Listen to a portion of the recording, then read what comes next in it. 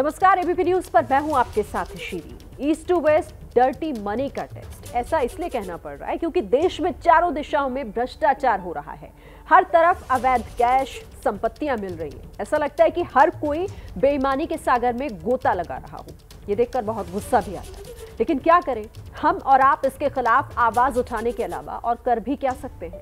क्या हम इसे रोक सकते हैं? ये बहुत बड़ा सवाल है। सोचिए, पुणे में तो घर से हेलीकॉप्टर बरामद हुआ है। वो भी Agusta Westland.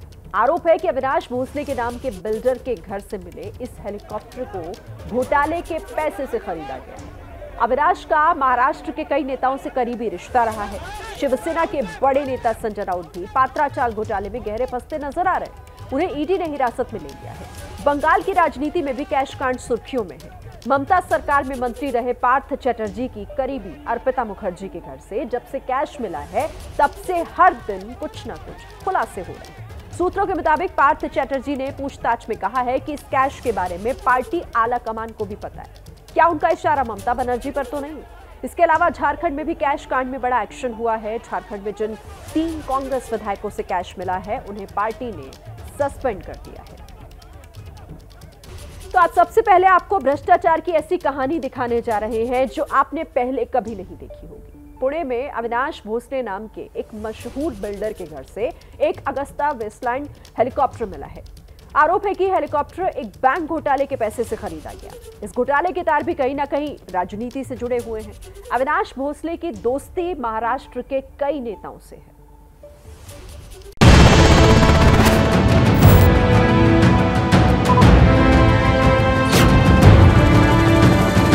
Agusta Westland helicopter. सिर्फ़ नाम ही काफ़ी है। क्योंकि इसके दर्शन तो देश में शायद ही किसी ने किए थे। बैठने की बात तो दूर है। देश के ज़्यादातर लोगों ने इस हेलीकॉप्टर का नाम पहली बार अगस्ता वेस्टलैंड हेलीकॉप्टर घोटाले के दौरान ही सुना था। आम लोगों को इसके साक्षात दर्शन का मौका पुणे के मशहूर बिल्डर अविनाश भोसले के सौजन्य से मिला है। आरोप है कि अविनाश ने यह हेलीकॉप्टर एक बैंक घोटाले के पैसे से खरीदा है। खास बात यह है कि इस हेलीकॉप्टर को उन्होंने अपने घर पर छिपा रखा था। इस हेलीकॉप्टर की कहानी आगे समझने से पहले आप अविनाश भोसले के चेहरे को अच्छे से पहचान लीजिए, क्योंकि इनकी कहानी के बगैर इस हेलीकॉप्टर की कहानी आपको समझ नहीं आएगी। अविनाश भोसले को पुणे के किंग ऑफ़ गुड टाइम्स का तमगा हासिल है। पुणे की सड़कों पर एक बेहद शानदार चौपहिया वाहन तेज रफ्तार दौड़ती दिखे और इसकी नंबर प्लेट पर शून्य शून्य आठ आठ लिखा हो तो मान लीजिए कि ये imported car builder Avinash Bhosale के बेड़े का हिस्सा है। अविनाश भोसले चार दशक पहले सिर्फ़ एक ऑटो रिक्शा के मालिक थे, लेकिन तब से अब तक उन्होंने एक लंबा सफ़र तय किया है। आज वो महाराष्ट्र के बड़े बिल्डरों में से एक हैं। उनकी company Avinash Bhosale infrastructure limited, अब बुनियादी ढांचे के विकास और हॉस्पिटलिटी के क्षेत्र में भी निवेश करती है। बेशुमार दौलत कमाने वाले अविनाश भोसले की बेशकीमती संपत्तियों में ये अगस्ता वेस्टलैंड हेलीकॉप्टर भी शामिल है। इस अगस्ता वेस्टलैंड हेलीकॉप्टर को फ़िलहाल सीबीआई ने जब्त कर लिया है। इस हेलीकॉप्टर तक सीबीआई पहुँची कैसे? ये कहानी भी बड़ी दिलचस्प है। इसके लिए आपको कपिल और धीरज वधावन को जानना होगा। कपिल और Dheeraj Wadhawan Dewan housing finance company, यानी डीएचएफएल के मालिक हैं। डीएचएफएल पर 17 बैंकों के समूहों को चौंतीस हज़ार करोड़ रुपए का चूना लगाने का आरोप है। डीएचएफएल घोटाले की जाँच फ़िलहाल सीबीआई कर रही है और देश में अलग अलग जगहों पर छापे मारकर घोटाले की रकम को तलाश रही है। सीबीआई को पता चला है कि घोटाले की रकम के ज़रिए कीमती पेंटिंग्स हीरे जवाहरात प्रॉपर्टी के अलावा कई महँगी चीज़ें खरीदी गई हैं। इसी दौरान सीबीआई को यह भी पता चला कि इस घोटाले के पैसे से एक हेलीकॉप्टर भी खरीदा गया था। सीबीआई सूत्रों के मुताबिक, वधावन भाइयों ने डीएचएफएल घोटाले का पैसा कई कंपनियों की मदद से इधर उधर किया है। जाँच में जिन कंपनियों के नाम सामने आए, उससे पता चला कि उन कंपनियों से अविनाश भोसले और वधावन भाई जुड़े हुए हैं। सीबीआई सूत्रों के मुताबिक, अविनाश भोसले वधावन बंधुओं का बेहद करीबी माना जाता है। तहकीकात करते करते सीबीआई को पता चला कि घोटाले के पैसे से एक हेलीकॉप्टर भी खरीदा गया था। फिर सीबीआई के दिमाग की बत्ती जली। उन्हें शक हुआ कि यह हेलीकॉप्टर अविनाश भोसले के घर हो सकता है। बस फिर क्या था? सीबीआई पहुँच गई पुणे में। अविनाश भोसले के घर। सीबीआई के दावे के मुताबिक, हेलीकॉप्टर में अविनाश भोसले की भी कथित रूप से हिस्सेदारी है। डीएचएफएल यस बैंक घोटाले में गिरफ़्तार उद्योगपति अविनाश भोसले, इनके घर से सीबीआई ने एक आलिशान हेलीकॉप्टर जब्त किया है। अभी मैं यही घर के सामने खड़ा हूँ। बानेर के इलाके में अविनाश भोसले का यह आलिशान घर है, जहाँ से सीबीआई ने यह हेलीकॉप्टर जब्त किया है। जो हम देख रहे हैं सामने, इसी के आगे करीबन दो एकड़ में फैला ये एक बड़ा घर आलिशान अविनाश भोसले का है जहाँ पर दो हेलीपैड भी हैं और जहाँ से सीबीआई ने ये ऑगेस्टा वेस्टलैंड हेलीकॉप्टर जब्त किया है। पिछले कुछ दिनों से हम देखें तो सीबीआई और ईडी ने मिलकर अविनाश भोसले पर बड़ी बड़ी कार्रवाइयाँ की हैं जिसमें उनके आ, उनका जो ऑफ़िस है जिन बड़ा एक दफ्तर है पुणे का एबीआई हाउस जिसे जाना जाता है। उसी के साथ कोई फाइव स्टार होटल्स भी हैं ऐसे अलग अलग कार्रवाई की है और करोड़ों की संपत्ति सीबीआई ने अभी तक अविनाश भोसले की जब्त की है और उसी के बाद सीधा अविनाश भोसले के घर में जो हेलीकॉप्टर, ऑगेस्टा वेस्टलैंड हेलीकॉप्टर, जिसकी कीमत करीबन करोड़ों में है, ये हेलीकॉप्टर भी अब सीबीआई ने जब्त किया है। अविनाश भोसले के घर पर इस हेलीकॉप्टर का मिलना किसी फिल्मी कहानी जैसा लगता है। हिंदी फ़िल्मों में जिस तरह विलेन के बंगले में हेलीकॉप्टर से लेकर दुनिया की हर शान शौकत का सामान होता है, उसी तरह भोसले के घर में भी हेलीकॉप्टर कुछ वैसी ही कहानी बयान करता है। अविनाश भोसले के घर से जब्त किए गए अगस्ता वेस्टलैंड हेलीकॉप्टर के इस मॉडल का number A W one zero nine S P grand new है। इसकी कीमत करीब 6 मिलियन डॉलर, यानी करीब 50 करोड़ रुपए है। जाँच से यह भी पता चला है कि इस हेलीकॉप्टर को साल 2011 में खरीदा गया था। अविनाश भोसले, पुणे में वो नाम है जो किसी पहचान का मोहताज नहीं है। उनकी महाराष्ट्र के राजनीतिक सर्किल में बड़े बड़े नेताओं से जान पहचान है। वो उनके बीच उठते बैठते हैं। उनके दामाद विश्वजीत कदम महाराष्ट्र के उभरते हुए कांग्रेस नेताओं में से एक हैं और उद्धव सरकार में मंत्री भी रहे थे। उनका ये पॉलिटिकल कनेक्शन भी उन्हें जेल जाने से नहीं रोक पाया है। बासठ साल के अविनाश भोसले इस वक्त यस बैंक घोटाले में गिरफ़्तार हैं। ये घोटाला चार हज़ार सात सौ सत्ताईस करोड़ का था। यस बैंक घोटाला चौंतीस हज़ार करोड़ के डीएचएफएल घोटाले का ही एक हिस्सा है। डीएचएफएल घोटाले मामले में सीबीआई वधावन बंधुओं को पहले ही गिरफ़्तार कर चुकी है। जो इस समय सीबीआई की रिमांड पर है। महाराष्ट्र के राजनीतिक हलकों में ऐसी चर्चा है कि इस घोटाले में देर सबेर कई राजनेताओं का भी नाम आ सकता है। तो हम आपको बता रहे हैं कि ईस्ट टू वेस्ट आखिर कैसे डर्टी मनी का ये गेम चल रहा है। अब आपको एक बड़ी जानकारी भी दे देते हैं। देखिए, सूत्र ये जानकारी दे रहे हैं कि संजय राउत के घर से ईडी को साढ़े ग्यारह लाख रुपए मिले हैं। ईडी संजय राउत से उन पैसों की जानकारी मांग रही है कि आखिर ये पैसे किसके हैं और यहाँ कहाँ से आए हैं? ईडी के एक बड़े अधिकारी ने बताया है कि इन पैसों से जुड़े सवाल का जवाब नहीं दे पाए थे राहुल, जिसके बाद इन पैसों को सीज किया गया और आगे की जाँच की जा रही है। तो संजय राउत के घर से साढ़े ग्यारह लाख कैश मिला है। सूत्रों से यह जानकारी, संजय राउत के घर से इस कैश को लेकर जानकारी जुटाने की कोशिश ईडी के अधिकारी कर रहे हैं कि ये कैश कहाँ से आया, किसका है, जिसके बारे में कोई जवाब नहीं मिल पाया है ईडी के अधिकारियों को। शिवसेना सांसद संजय राउत इस वक्त मुंबई में ईडी के दफ्तर में है। करीब तीन घंटे से ईडी उनसे पूछताछ कर रही है। आज शाम ईडी की टीम ने नौ घंटे की पूछताछ के बाद संजय राउत को हिरासत में लिया। उनकी गिरफ्तारी होगी या फिर नहीं, इस पर फ़िलहाल सस्पेंस बना हुआ है, क्योंकि संजय राउत के वकील ने कहा है कि ईडी ने राउत को नया समन दिया था। उसी का जवाब देने के लिए संजय राउत ईडी दफ्तर आए हैं। बहरहाल आज शाम जब ईडी की टीम ने संजय राउत को हिरासत में लिया तो उन्होंने जमकर शक्ति प्रदर्शन किया। भगवा गमछा लहराते हुए कार के रूफटॉप पर विजय मुद्रा में ईडी दफ्तर पहुँचे संजय राउत। और ईडी दफ्तर पर पहुंचकर कहा, उनके खिलाफ सभी आरोप झूठे हैं। वो लड़ेंगे और झुकेंगे। मेरे खिलाफ मेरे खिलाफ। जिस प्रकार से झूठी कार्रवाई, झूठे कागज़, झूठे एविडेंस लोगों को मार मार कर पीट पीट कर बनाए जा रहे हैं, ये सिर्फ़ महाराष्ट्र को कमज़ोर करने के लिए, शिवसेना को कमज़ोर करने के लिए, लेकिन शिवसेना कमज़ोर नहीं होगी, महाराष्ट्र कमज़ोर नहीं होगा। दूसरी बात, संजय राउत झुकेगा नहीं, ना पार्टी छोड़ेगा, ना शिवसेना छोड़ेगा।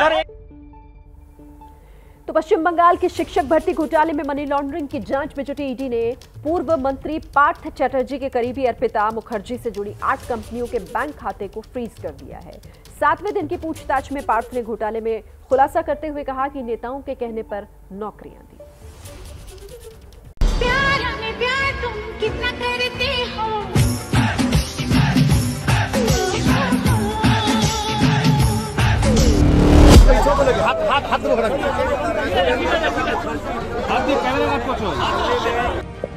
कैश का ये अंबार किसे याद नहीं है? पूरा देश अब इस कैश को पहचानता है। ये कैश पश्चिम बंगाल के पूर्व मंत्री पार्थ चटर्जी की करीबी अर्पिता मुखर्जी के घर से मिला था। ईडी ने अर्पिता के दोनों घरों से मिला। 50 करोड़ से ज़्यादा का कैश तो जब्त कर ही लिया है। लेकिन अब उन्होंने अर्पिता मुखर्जी की कंपनियों के बैंक खातों में जमा 8 करोड़ रुपए भी जब्त कर लिए हैं। ईडी का आरोप है कि शेल कंपनियों के ज़रिए कंपनियों के पैसों की हेराफेरी की गई है।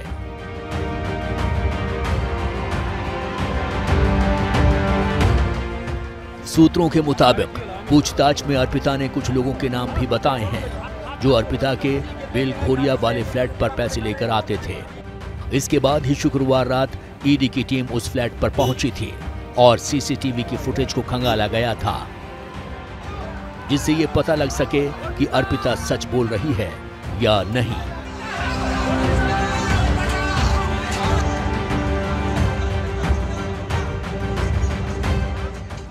ईडी की पूछताछ में अर्पिता ने खुलासा किया है कि वो महज पार्थ चैटर्जी की संपत्तियों की केयरटेकर थी। अर्पिता ने कहा कि वो उन गहनों को ज़रूर पहचानती थी, जो ईडी ने बरामद किए हैं। उनका कहना है कि पार्थ चैटर्जी ने उन्हें एक बेहतर रहन सहन दिया है। सूत्रों के मुताबिक, ईडी के सामने अर्पिता जब ये खुलासे कर रही थी, तब पार्थ चैटर्जी बिना पलक झुकाए अर्पिता की तरफ़ देख रहे थे।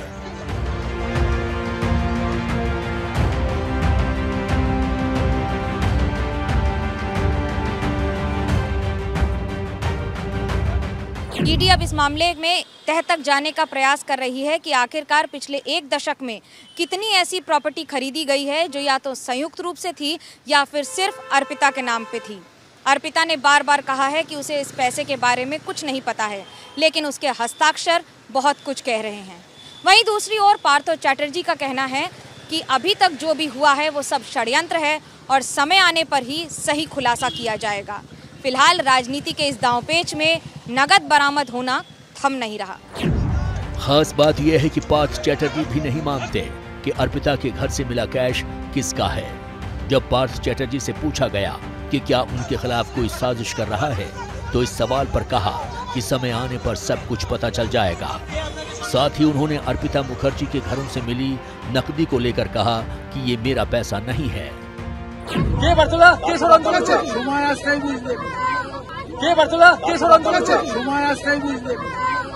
सूत्रों के मुताबिक अर्पिता मुखर्जी ने ईडी को बताया है कि ये पैसे तबादलों के लिए और कॉलेजेस को मान्यता दिलाने में मदद करने के लिए रिश्वत के तौर पर लिए गए थे। जब ये कथित घोटाला हुआ तो पार्थ चैटर्जी राज्य के शिक्षा मंत्री थे।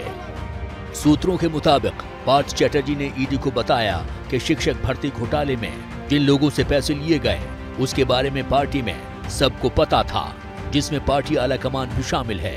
पार्थ चैटर्जी ने ममता का सीधे तौर पर तो नाम नहीं लिया, लेकिन उनके इस बयान से सवाल उठ रहे हैं कि क्या उनका इशारा ममता बनर्जी की तरफ़ है।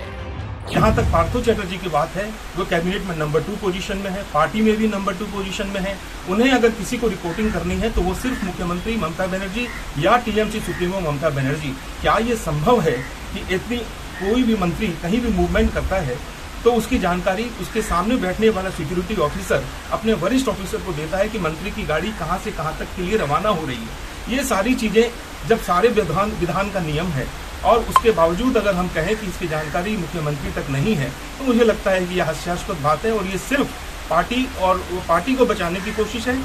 सूत्रों के मुताबिक, पार्थ चैटर्जी का दावा है कि उन्होंने कभी किसी शिक्षक से पैसे नहीं मांगे। वो सिर्फ़ पार्टी आलाकमान के ऑर्डर का पालन कर रहे थे। वो सिर्फ़ इस कैश के रखवाले थे। चैटर्जी का दावा है कि सैकड़ों करोड़ रुपए तो पार्टी के लिए खर्च भी हो चुके हैं। जो कैश मिला है वो तो सिर्फ़ नाम मात्र है। पार्थ चैटर्जी के इन दावों में कितना सच है ये तो जाँच के बाद ही पता चलेगा। पार्थ चटर्जी को और अर्पिता मुखर्जी को देखिए अब यहाँ पर लेकर आया गया है और चूँकि पिछली बार आपको याद होगा जब इन दोनों के यहाँ लाया गया था तो किस तरह से अर्पिता रो रही थी और अब जो है फिर मेडिकल चेकअप के लिए लाया गया है, क्योंकि 48 घंटे में इन्हें यहाँ लाना है। पार्थ चैटर्जी को ममता बनर्जी का सबसे करीबी माना जाता है। वो पार्टी के महासचिव थे। एक तरह से पार्टी में वो नंबर दो थे। यानी ममता के बाद सबसे बड़े नेता। ऐसे में पार्थ चैटर्जी का इस वक्त जो कबूलनामा लीक हो रहा है, उसकी आँच देर सवेर ममता बनर्जी तक भी पहुँच सकती है। बात कर लेते हैं। झारखंड की बंगाल के हावड़ा में झारखंड के तीन कांग्रेसी विधायक कैश के साथ पकड़े गए। इसके बाद झारखंड की सियासत में भूचाल आ गया है। पूरी रिपोर्ट आपको दिखाते हैं।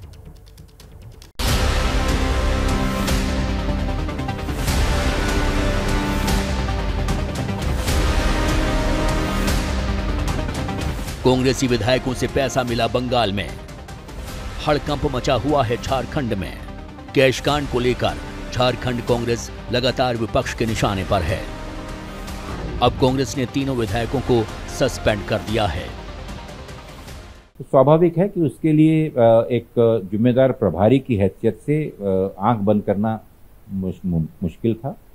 कांग्रेस अध्यक्षा के निर्देश पे के, के उनके जहन में हमने ये बातें लाई और निश्चित रूप से ये कार्यवाही आवश्यक थी क्योंकि आज जिन मूल्यों के लिए हम लड़ रहे हैं उसमें इन प्रकार की गतिविधियों की कोई जगह नहीं।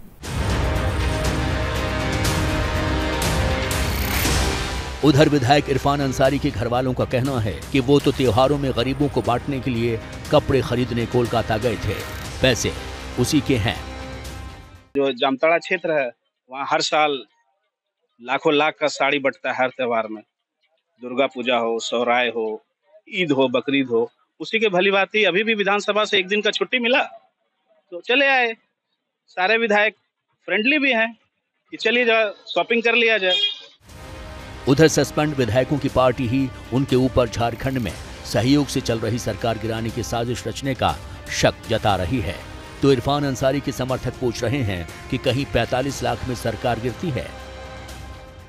जिस तरह की घटना सामने आई है उससे ये प्रतीत होता है प्रथम दृष्टया कि पूरे देश में जो एक अभियान चल रही है, गैर भाजपा शासित सरकारों को गिराने का, अस्थिर करने का, उसको यहाँ भी अंजाम देने की एक कोशिश दिखाई पड़ती है। अगर 16 लाख है 48 लाख है तो तीन तीन हिस्सा कर दीजिए उसको।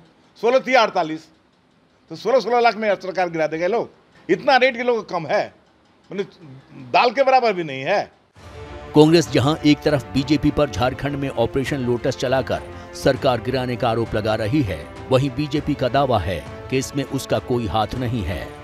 देखिए, भारतीय जनता पार्टी की भ्रष्टाचार पर ज़ीरो टॉलरेंस नीति है और इसी नीति के तहत हमने कभी भ्रष्टाचार से कोई समझौता नहीं किया है। अभी जो बड़ी मात्रा में कैश बरामद हुआ है, तीन कांग्रेस विधायकों के पास पश्चिम बंगाल में, उसमें कांग्रेस को स्पष्ट करना चाहिए। केंद्रीय कांग्रेस को, प्रदेश कांग्रेस को कि आखिर ये तीन विधायक किसका पैसा लेकर जा रहे थे? इस बीच कांग्रेस के विधायक जयमंगल सिंह ने पुलिस में शिकायत दी है कि इरफान अंसारी राजेश कच्छप और बिक्सल कोंगारी ने उन्हें 10 करोड़ रुपए और मंत्री पद का ऑफ़र देकर कोलकाता बुलवाया था। जयमंगल सिंह की इस शिकायत में असम के मुख्यमंत्री हेमंत बिस्व शर्मा का भी ज़िक्र है। शिकायत में नाम आने के बाद हेमंत बिस्व शर्मा भी सामने आए और सफ़ाई दी। कांग्रेस का बड़ा बड़ा दिग्गज जो एकदम मैं टॉप मोस्ट से टॉप मोस्ट बोल सकता हूँ। वो सब भी मुझको मेरा साथ संपर्क में रहता है। कोई पॉलिटिक्स का बात नहीं करता है, लेकिन जब 22 साल एक व्यक्ति एक पार्टी में रहता है, संपर्क तो रहता है। तो इसके लिए कोई एक केस हो, कोई एक एफआईआर दर्ज करे, पता नहीं है कांग्रेस का क्या हो क्या हो चुका है। अब अगर कांग्रेस के ऑपरेशन लोटस के दावों में सच्चाई है तो ये देखना भी ज़रूरी है कि झारखंड में बीजेपी की सरकार कैसे बन सकती है। झारखंड में जेएमएम के 30 विधायक हैं। सरकार में जेएमएम का समर्थन करने वाली कांग्रेस के 18 विधायक हैं। वहीं बीजेपी के 26 विधायक हैं। बीजेपी के सहयोगी एजेएसयू के दो विधायक हैं। मतलब झारखंड में एनडीए के कुल 28 विधायक हैं। वहीं एनसीपी के एक और सीपीआईएम के एक विधायक हैं। वहीं दो विधायक निर्दलीय हैं। झारखंड में बहुमत का आंकड़ा बयालीस है। एनडीए के 28 विधायक हैं। अगर कांग्रेस के 10 विधायक टूटकर एनडीए के साथ आते हैं तो उसकी ताकत 38 विधायकों की हो जाएगी। दो निर्दलीय विधायक भी अगर एनडीए के साथ आ जाएँ तो उसकी ताकत 40 विधायकों की हो जाएगी। राष्ट्रपति चुनाव के दौरान झारखंड में कांग्रेस ने पार्टी लाइन से हटकर द्रौपदी मुर्मू को वोट किया था। सूत्रों की माने तो झारखंड मुक्ति मोर्चा और कांग्रेस की सरकार में आपस में ही ठनी हुई है। भले ही एक गिरफ़्तार हुए विधायक कैश के नाम पर कुछ भी कहें, लेकिन एक बात तो तय है कि हेमंत सोरेन की सरकार पर संकट खत्म होता नज़र नहीं आ रहा। कैमरा पर्सन सूरज पांडे के साथ मनोज्ञा लोईवाल, कोलकाता, एबीपी न्यूज़।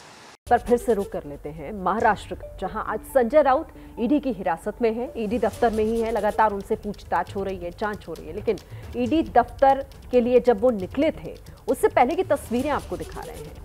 ये उनकी माँ है संजय राउत की जो आरती उतार कर उन्हें आशीर्वाद देकर उन्हें भेज रही है ईडी दफ्तर के लिए एक्सक्लूसिव तस्वीर एबीपी न्यूज़ पर हम आपको दिखा रहे हैं। इस दौरान उनकी माँ भावुक भी हो गई, जब उनका बेटा, जो यहाँ से ईडी अधिकारियों के साथ निकल रहे थे, संजय राउत, उसी दौरान घर के अंदर की तस्वीरें इस वक्त आपके सामने हैं। संजय राउत की माँ उन्हें आशीर्वाद देकर, उनकी आरती उतारकर और उसके बाद यहाँ से निकले थे संजय राउत, ईडी के अधिकारियों के साथ, ईडी दफ्तर के लिए। सुबह सात बजे से लगातार ईडी के जो अधिकारी हैं, वो उनके दफ्तर पर ही उनके घर पर ही मौजूद थे। लगातार पूछताछ उनसे की जा रही थी। तमाम तफ्तीश ईडी के अधिकारियों की तरफ़ से हो रही थी, लेकिन आखिरकार उन्हें ईडी के अधिकारियों के साथ आना पड़ा। ईडी के अधिकारियों ने उन्हें हिरासत में लिया और उसके बाद ईडी दफ्तर पर मौजूद है इस वक्त संजय राउत, लेकिन उससे पहले की ये तस्वीरें परिवार जो कि भावुक है, इस वक्त परेशानी का ये पल पूरे परिवार के लिए रुक कर लेते हैं। रौनक का, रौनक, तस्वीरें देख रहे हैं हम। घर के अंदर की तस्वीरें, जब एक माँ अपने बेटे को, यानी संजय राउत को ईडी के अधिकारियों के साथ जाने से पहले अपना आशीर्वाद दे रही हैं, तस्वीरें जो इस वक्त दिख रही हैं। निश्चित तौर पर श्रीनी तस्वीरें देखकर हम ये समझ सकते हैं कि इस वक्त संजय राउत को ईडी के अधिकारी जो है वो हिरासत में लेकर आगे की पूछताछ के लिए ईडी दफ्तर ले जा रहे थे। इस वक्त तो परिवार के अंदर आ, कितना भावुक क्षण वो जो है वो था और वही तस्वीरों में भी जो है वो देखने को मिल रहा है। साफ़ तौर पर उनकी माँ जो है उनकी आँखों में आँसू देखने को मिल रहे हैं और लगातार उनका ढाड़स बांधने की कोशिश जो है संजय राउत की की जा रही है कि वो इस सभी संकट से जो है वो जल्द बाहर निकलेंगे और भगवान का आशीर्वाद जो है बड़े बुज़ुर्गों का आशीर्वाद उनके साथ है। लिहाजा उन्हें घबराने की ज़रूरत है हमने देखा कि संजय राउत की जब बाहर आए, जब पहली बार मीडिया के सामने उनकी तस्वीरें देर शाम को देखने को मिली कि जब ईडी के अधिकारी उन्हें दफ्तर ले जाते वक्त दिखे तो उस वक्त भी वे काफ़ी कॉन्फिडेंस में दिख रहे थे। लेकिन निश्चित तौर पर ये कहा जा सकता है कि उन्हें इस बात का अंदेशा था कि जिस तरह से उनको हिरासत में लिया गया है, हो सकता है कि उनकी गिरफ्तारी भी हो सकती है। इसलिए थोड़ा सा नर्वसनेस उनको ज़रूर उनके चेहरे पर दिखाई दे रहा था और वो शायद इसी वजह से था क्योंकि घर के लोग जो है जब वो बाहर निकल रहे थे तो काफ़ी भावुक क्षण घर में देखने को मिले और उनके मम्मी की आँखों में या उनकी माता की आँखों में जो है वो साफ़ तौर पर आँसू देखने को मिल रहे थे जी। अच्छा ये बताइएगा रौनक जिस वक्त ये सब कुछ चल रहा था, छापेमारी हो रही थी, सुबह से ही पहुँच गए थे ईडी के अधिकारी, घर पे था कौन कौन कौन कौन मौजूद था? राउत परिवार। जी देखिए, मैं आपको बता दूँ कि जो संजय राउत का परिवार है, वो जॉइंट फैमिली के तौर पे ही वहाँ पर घर पर रहता है। जो तीन मंजिला उनकी इमारत है ग्राउंड फ्लोर पर उनका किचन है और फ़र्स्ट फ्लोर की अगर बात की जाए तो फ़र्स्ट फ्लोर पर सुनील राउत का परिवार रहता है और थर्ड फ्लोर पर संजय राउत का परिवार रहता है। तो वे सभी लोग जो है घर के वो मौजूद थे उनके छोटे भाई भी पिछले दो दिनों से उन्हीं के घर पर मौजूद थे। लिहाजा जो तस्वीरें हमने इस वक्त हम दर्शकों को घर के अंदर की दिखा रहे हैं उस तस्वीरों में साफ़ तौर पर देखा जा सकता है कि संजय राउत की पत्नी वर्षा राउत हमें वहाँ पर नज़र आ रही है। उनकी छोटी बेटी विजीता घर के अंदर नज़र आ रही है। सुनील राउत वहाँ पर मौजूद है। इसके अलावा सुनील राउत की पत्नी और उनकी माँ ये साफ़ तौर पर तस्वीरों में दिखाई दे रही है। और सुबह से हमने ये भी देखा कि उनके छोटे भाई है, वो भी लगातार उनके घर पर दिखाई दे रहे थे। जब संजय राउत अपने समर्थकों को हाथ हिलाते हिलाते हुए दिखाई दिए, उनका उनका अभिवादन स्वीकारते हुए दिखाई दिए, उस वक्त भी उनके छोटे भाई जो है, उनके साथ दिखाई दिए थे। जी।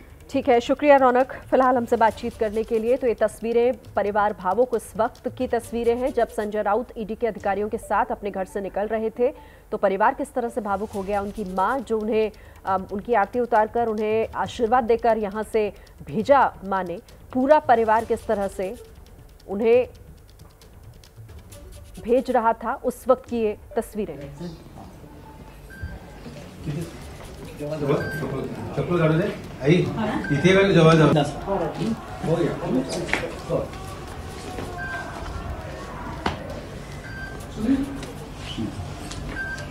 कोण आहे?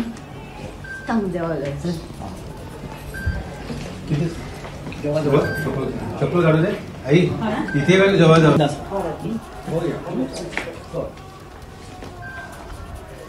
आसमान से लगातार बरसती मुसीबत की बारिश ने पहाड़ों को भी मुसीबत के पहाड़ बना दिया है। पिछले कुछ दिनों में देश के कई इलाकों में लैंडस्लाइड की वजह से जान माल का काफ़ी नुकसान हुआ। बरसात के इस मौसम में सबसे ज़्यादा पहाड़ों की शामत आई है उत्तराखंड में। भूस्खलन होने की वजह से राज्यों के कई रास्ते बंद पड़े हैं और नेशनल हाईवे ठप हो गए हैं। प्रशासन राहत कार्य में जुटा हुआ है, लेकिन बारिश होने और रह रहकर सड़कों पर पत्थर गिरने की वजह से राहत के काम में भी रुकावटें आ रही हैं। कैसे दरकते पहाड़ों के बीच ज़िंदगी की जंग जारी है देखिए हमारी खास रिपोर्ट।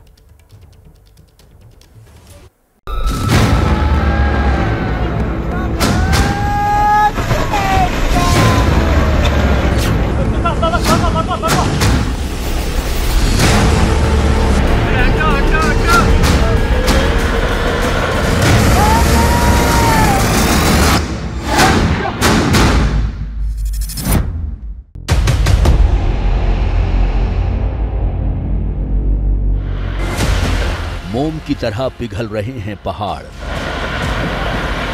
कहीं दरक रहे हैं पहाड़।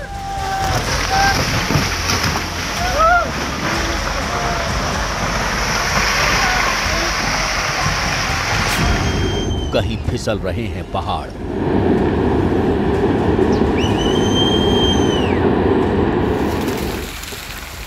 आसमानी आफत के बीच पहाड़ों का टूटना एक ऐसी मुसीबत है। जिसका अंदाज़ा वही लोग लगा सकते हैं जिनकी ज़िंदगी पहाड़ों की साय में ही गुजरती है। सर खतरे में इस वक्त आसमान से बरसती आफत की बारिश के बीच पहाड़ों में सफ़र यूँ भी खतरनाक और जान जोखिम में डालने वाला होता है। एक ऐसा ही खौफनाक मंजर उस वक्त कैमरे में कैद हुआ जब एक बाइक सवार पर कहर बनकर टूट पड़ा एक पहाड़। कलेजा कपा देने वाला ये कोई फिल्मी सीन नहीं है। ये उत्तराखंड के धारचूला की वो सच्ची घटना है, जिसने देखने वालों के होश उड़ा दिए हैं। कहते हैं, मौत कब, कहाँ, किसे दबोच ले, ये किसी को पता नहीं है। और ऐसा ही हादसा धारचूल में भी पेश आया, जब ये बाइक सवार मौत के पंजे से बाल बाल बच गया।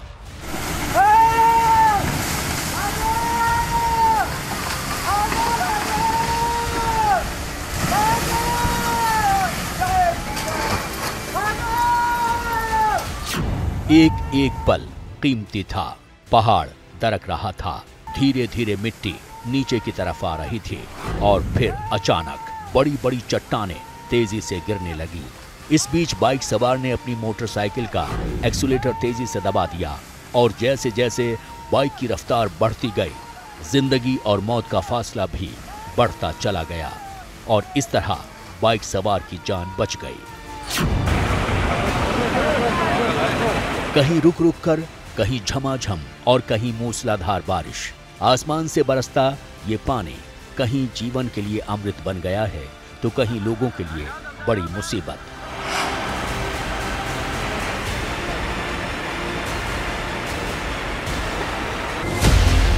देश के अलग अलग शहरों में बारिश का तांडव जारी है, लेकिन देश के पहाड़ी इलाकों में बारिश का ये सितम डबल अटैक कर रहा है।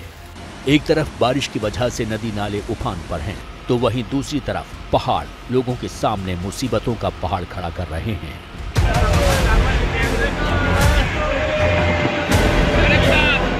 भूस्खलन की ये डरावनी तस्वीरें उत्तराखंड के रुद्रप्रयाग की हैं। जिन्हें देखकर ऐसा लग रहा है, मानो पूरा पहाड़ ही टूटकर नीचे गिरने को बेताब हो गया है।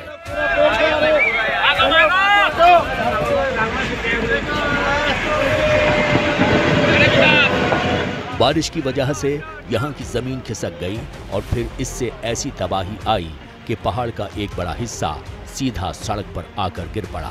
पहाड़ का ये मलबा इतना ज़्यादा और तेज़ी से नीचे आया कि चारों तरफ़ धूल का गुबार छा गया। लैंडस्लाइड से पहले की इन तस्वीरों को देखिए। जैसे ही लैंडस्लाइड का खतरा बना, एक व्यक्ति जान जोखिम में डालकर मोबाइल पर इस तबाही को कैद करने के लिए आगे बढ़ गया।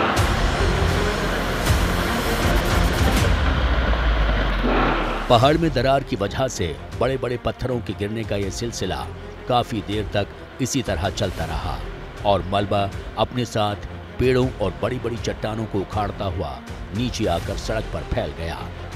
इस घटना की वजह से रुद्रप्रयाग केदारनाथ हाईवे पूरी तरह से ठप हो गया है।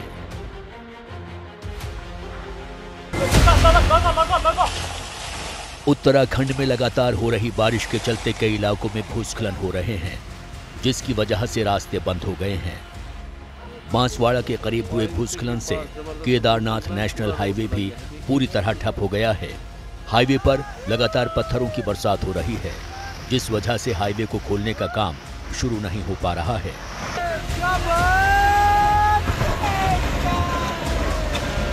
और हाईवे के दोनों छोरों पर केदारनाथ धाम आने जाने वाले यात्री फंसे हुए हैं। राजमार्ग रुद्रप्रयाग से गौरीकुंड, बांसवाड़ा में अधिक लेंस स्लाइडिंग होने से राष्ट्रीय राजमार्ग अभी बाधित हो गया है, जिससे कि तुरंत खोलने की प्रक्रिया भी शुरू कर दी गई है और जैसे ही लैंडस्लाइड रुकता है, वैसे उसको तुरंत खोल दिया जाएगा।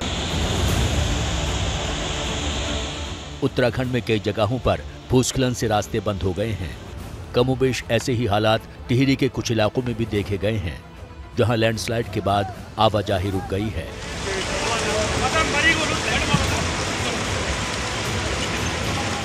भारी बारिश के बाद टिहरी में भूस्खलन की जो तस्वीरें आई हैं, उनमें पहाड़ों के छोटे छोटे पत्थर सड़कों पर गिरते दिखाई दे रहे हैं।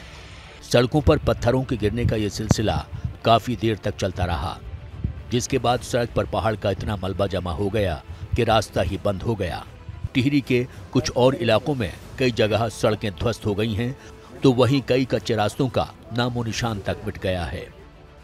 बारिश के बीच पहाड़ों की कमज़ोर हो जाने की वजह से यहाँ लोगों की परेशानियाँ और ज़्यादा बढ़ गई हैं और सफ़र पर निकले लोगों के लिए मंजिल तक पहुँचना दुश्वार हो गया है। भूस्खलन की इन घटनाओं के बीच कुछ लोग पानी के तेज बहाव के बीच भी जान जोखिम में डालकर उफनते नदी नालों को पार कर रहे हैं। ये गया ये गया गया गया। गया।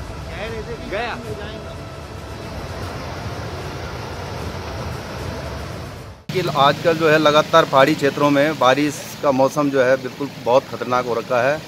और इसी संबंध में आज जो है हमने लोक निर्माण विभाग के जो एक्शन हैं, उनसे मैंने बात करी थी कि जो हमारी जागनी खाल और झिवाली मोटर मार्ग है, वो काफ़ी दिनों से बंद हो रखा है। तो उन्होंने मुझे संतोषजनक जो है जवाब नहीं बताया जा रहा है कि लैंडस्लाइड की घटनाओं की वजह से टिहरी की 11 सड़कें बंद हो गई हैं, जिसकी वजह से इलाकों के लोगों को आने जाने में काफ़ी दिक्कतों का सामना करना पड़ रहा है।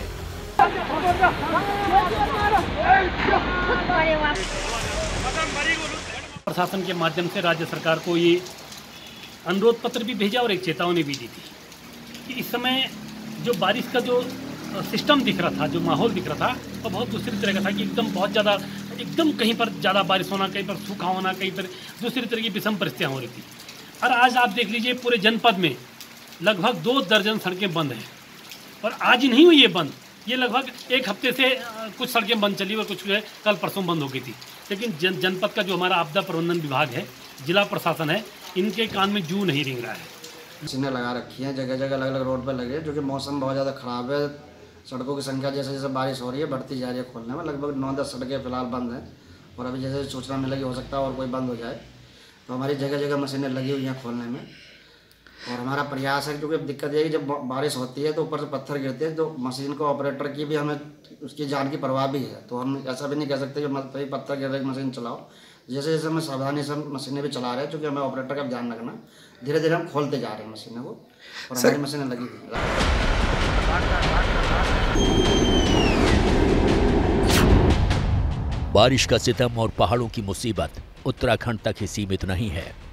जम्मू के कठुआ ज़िले के बिलावर में भी तेज बारिश के चलते एक पहाड़ी से चट्टान खिसक गई, जिसके मलबे में दबने से दो मासूम बच्चों की मौत हो गई। इस दर्दनाक हादसे के बाद बचाव दल ने मौके पर पहुंचकर शवों को बरामद कर लिया है।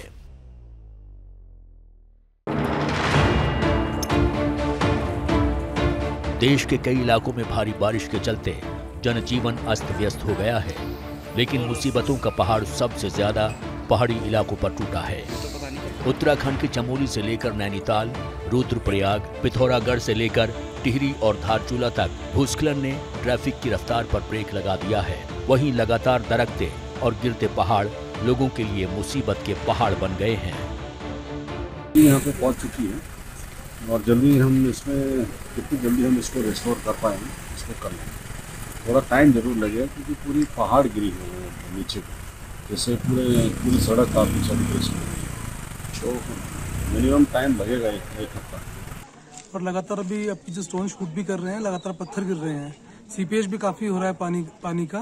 तो डैमेज तो काफ़ी हुआ है और अभी हमारे पास बेस भी नहीं है ताकि हम इस, इसको कहीं पे वॉलिंग करके या फिर कहीं छोटा मोटा वॉल करके इसमें ट्रैफ़िक कर सके।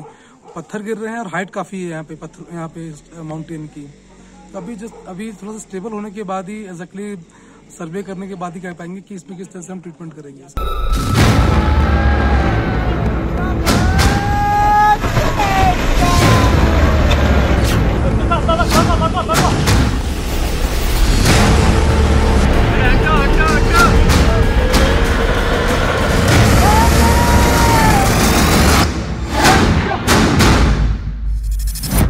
तो मानसून के इस मौसम में हम लगातार देख रहे हैं। आसमानी बारिश का सितम जो मैदानों और पहाड़ों पर गिरकर कईयों के लिए मौत की बारिश बन रही है। जान के साथ साथ माल, मकान, खेत और इमारतें इसका शिकार हो रही हैं। इस वक्त देश में फिर से कई जगहों से ऐसी डरावनी तस्वीरें आ रही हैं। उत्तराखंड समेत कई पहाड़ी इलाकों में बारिश की मार दोहरी हो गई है। तो मैदानों में ये स्कूल, अस्पताल समेत पूरे के पूरे पुल को गिरा रही है। इस आफती बारिश ने फिर ले ली है कई जिंदगियाँ जिनमें मासूम भी शामिल हैं।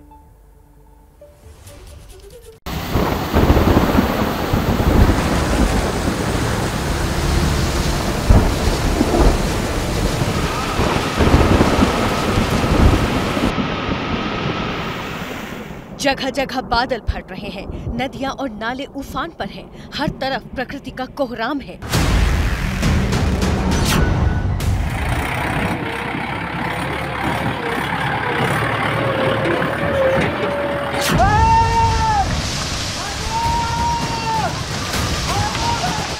चट्टाने खिसक रही हैं। बरसात कर रही है लगातार अत्याचार।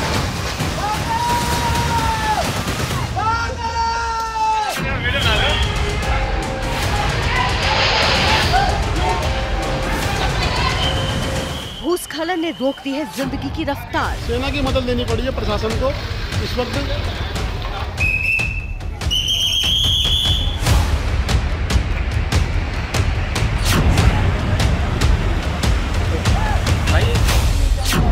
सैलाब में साँसें अटक रही हैं। मौसमी बरसात ज़िंदगी की दुश्मन बन रही है।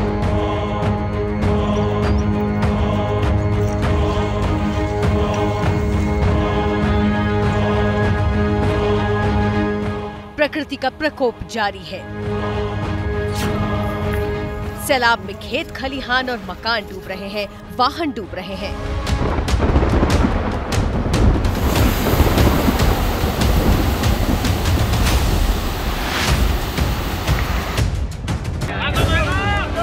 देश में बाढ़ बारिश से जनता बेहाल है और पहाड़ों पर बरसात दोहरा सितम ढहा रही है।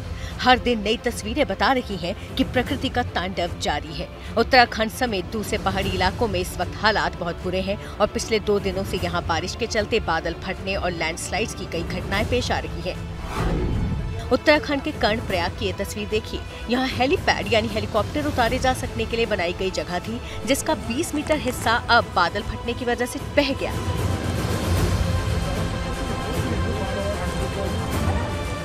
उत्तराखंड में इसी तरह मौसम की मार और लाचार लोगों की तस्वीरें लगातार आ रही हैं। मौसम विभाग ने अगले तीन दिनों में उत्तराखंड समेत वेस्ट यूपी में भारी बारिश की चेतावनी भी दी है। हालात कैसे हैं, ये आप हाल की तस्वीरों से देखें। एक ही दिन पहले शनिवार को जोशी मठ का हाल ये है। बद्रीनाथ राष्ट्रीय राजमार्ग फिर बंद हो गया, क्योंकि लामबगर नाले में फिर उफान आ गया। शुक्रवार से 22 घंटे बंद रहने के बाद कुछ घंटों के लिए खुला था हाईवे, लेकिन नाले के पानी ने फिर सड़क मार्ग को बहा दिया वॉश आउट कर दिया। इसी दौरान एक वाहन नाले पर फंस गया। वाहन के लुढ़क कर अलकनंदा नदी में जाने का खतरा बढ़ गया। इसको देखते हुए जेसीबी मशीन से वाहन खींच कर निकाला गया। मौके पर पैदल रास्ता बनाकर पुलिस ने यात्रियों को रेस्क्यू किया।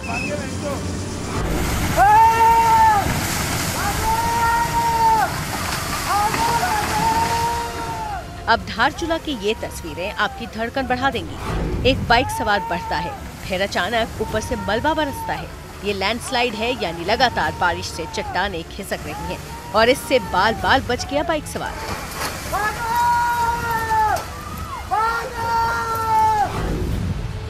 और धारचूला में ही प्रकृति की तबाही का ये आलम भी देखिए। झमाझम बारिश तो एक तरफ़, लेकिन उसके साथ ये खौफनाक मंजर दूसरी तरफ़। धारचूला बाज़ार के लोगों की जान आफत में आ गई जब शुक्रवार को एल धारे के पास यहाँ पहाड़ी से गिरने लगा मलबा। 100 मीटर के दायरे में आर्मी और पुलिस ने लगाया कर्फ्यू। प्रशासन ने यहाँ गिरे मलबे से 100 मीटर दायरे में आने वाले घरों मकानों को खाली भी करा लिया। इस बीच कुमाऊं स्काउट के 20 जवानों के अलावा एसडीआरएफ और पुलिस जवान मौके पर तैनात हुए। पहाड़ से गिर रहे बोल्डर और मलबे से कुछ अन्य मकानों के भी ध्वस्त होने की संभावना लगातार बनी हुई है। उधर धारचूला में ही बादल फटने की घटना की वजह से अचानक धौली नदी और महाकाली का जलस्तर बढ़ गया। सोबला के गाँव वालों ने प्रशासन को घटना की सूचना दी। जान का नुकसान तो नहीं हुआ, लेकिन बेली पुल बहने से तवा घाट सोबला सड़क दो से तीन हफ्तों के लिए बंद रहने की आशंका बढ़ गई।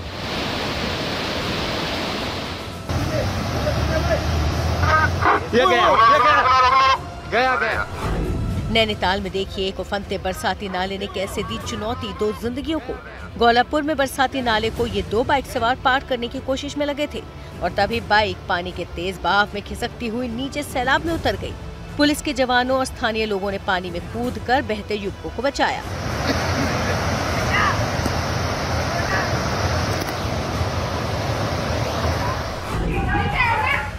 और आसमानी आफत का कहर एक मकान पर देखिए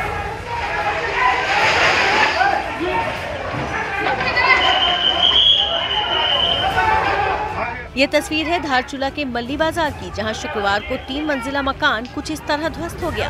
वीडियो तो उतना साफ़ नहीं, लेकिन बाद की तस्वीरों में साफ़ दिख रहा है मकान का मलबा।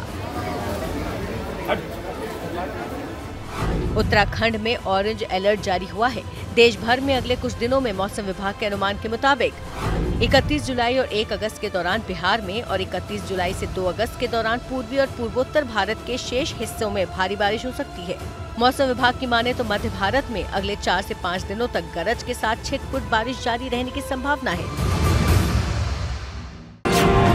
और उत्तराखंड के अलावा भी दूसरे पहाड़ी शहर लगातार आसमानी मुसीबत का सामना कर रहे हैं। जम्मू के कठुआ ज़िले के बिलावर में तेज बारिश के चलते एक पहाड़ी से चट्टाने खिसकी, जिसके बाद उसके मलबे में दबने से दो मासूमों की मौत हो गई। बचाव दल ने मौके पर पहुंचकर दोनों मासूमों के शवों को बरामद किया। कठुआ की ही दूसरी तस्वीर में यहाँ कुछ लोग तो दिख रहे हैं, लेकिन जो नहीं दिख रहा, वो है एक ट्रैक्टर, जिस पर तीन लोग सवार थे। ये ट्रैक्टर दरअसल इस पानी के बहाव में गुम हो गया।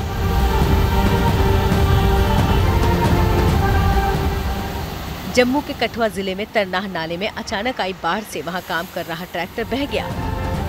फ़िलहाल तरना नाले का जलस्तर कम होने के बाद वहाँ पर रेस्क्यू ऑपरेशन चलाया जा रहा है। लोगों का पता नहीं है।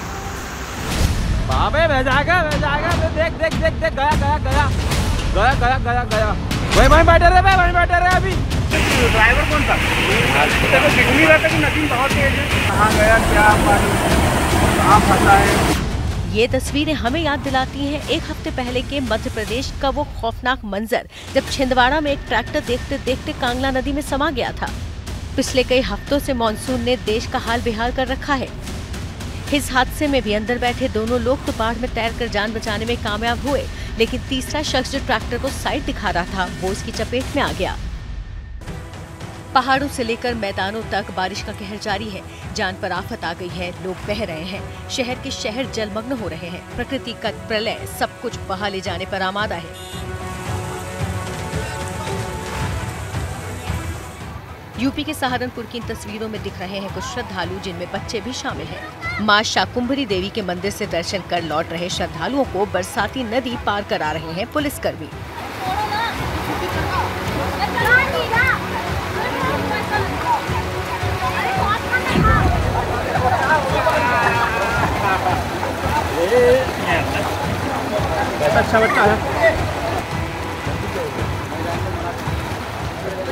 सहारनपुर की ही ये दूसरी तस्वीर है कस्बा सारपावा की। जहाँ लगातार एक घंटे से हो रही बारिश से बुरा हाल हो गया। अंबाला रोड हाईवे ने ले लिया नदी का रूप। पानी की निकासी का कोई साधन नहीं दिखता। बाजारों, मोहल्लों में भी भर गया पानी।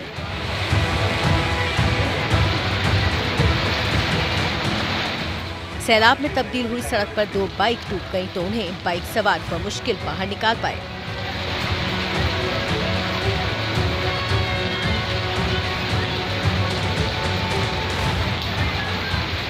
और सहारनपुर में ये आज की तस्वीर नहीं है, बल्कि कुछ दिनों से ही यहाँ हाल बुरा है।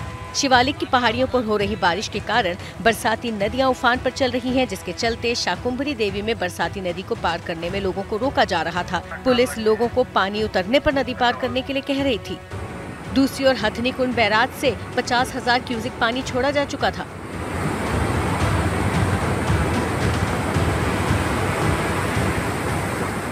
बादशाही बाग खोल में पानी का जलस्तर बढ़ने पर स्कॉर्पियो गाड़ी पानी में फंसे देख सकती है, जिसे पानी कम होने पर ट्रैक्टर की मदद से निकाला गया।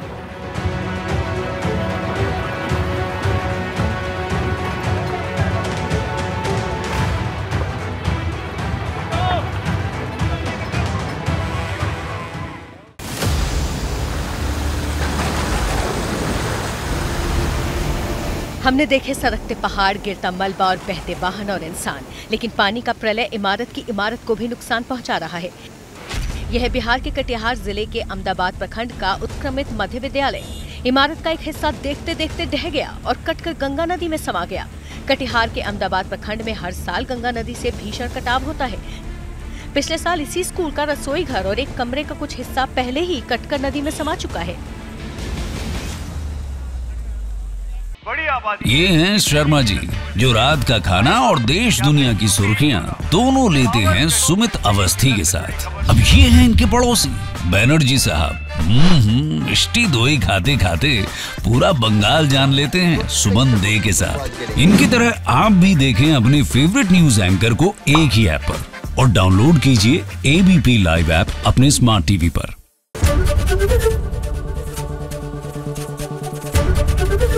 एबीपी न्यूज़ आपको रखे आगे।